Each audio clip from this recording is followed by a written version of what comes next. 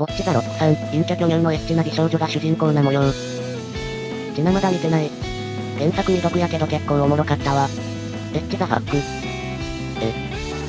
あんま面白くないみたいに聞いてたけど1はかなり良かったと思うわ。陰キャあるあるが解像度高すぎて共感性周知引き起こした。もっと軽い雰囲気かと思ってたわ。ギスギスパートあるんちょっと重いシーンはあるけどアニメでは流れん範囲やと思う。曲どっちもいいやん。トレンド1位取ってたぞ。その後ブルーロックに取られてたけど。今季の派遣候補やろ。パンチラとかあるヒロインの下着姿と風呂とパンチラはある。スーパーデカデカぼっちやぞ。髪の色ピンクなのに陰キャなんて。思ってたより緩い雰囲気やったわ。作画が綺麗っつうかよく動く。ぼっちちゃんはユリの余り物やで。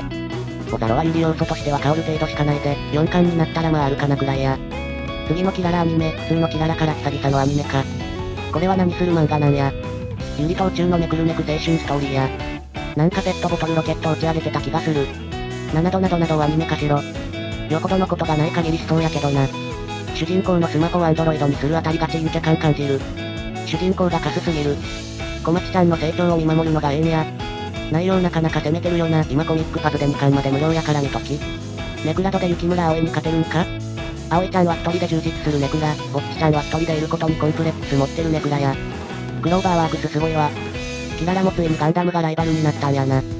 カオス先生とイトリボッチちゃんはガチ感が強くてたまにいたたまれなくなる時がある。ボッチちゃんおっぱいでかいんか。